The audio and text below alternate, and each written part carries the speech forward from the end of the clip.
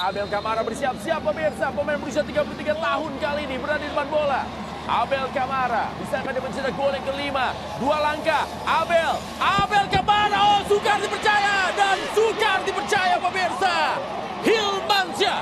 Ya, memang saya saya sudah dari awal tadi saya sudah menebak sebenarnya bahwa Hilman ini salah satu kiper gawang yang cukup baik Ya. dalam antisipasi penalti penalti dan saya kalau kita lihat tadi bagaimana